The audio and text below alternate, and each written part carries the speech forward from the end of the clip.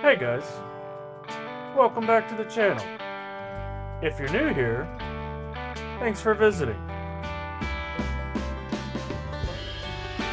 In this video series, I'm converting this old international school bus into an RV, a skoolie. This video is part two of the interior demolition and preparations for a roof raise.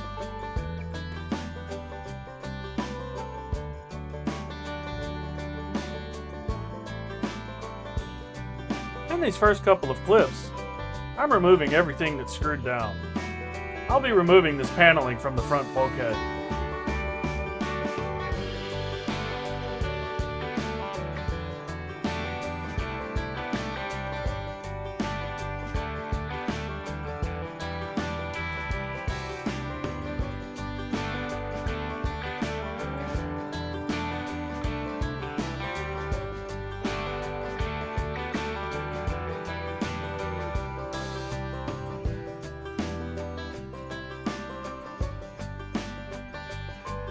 Here I'm using an air chisel to remove the rivets in the first section of ceiling paneling.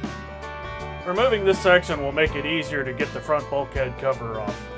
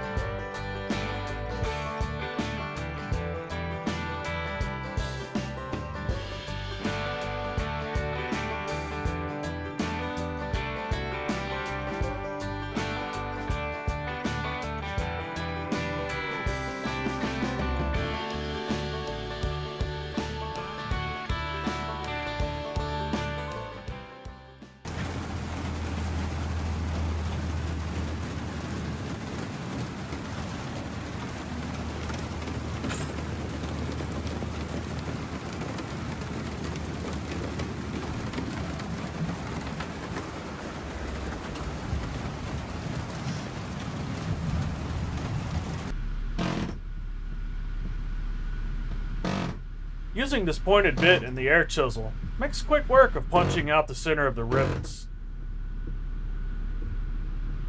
With the center of the rivets knocked out, the heads come right off with this flat chisel.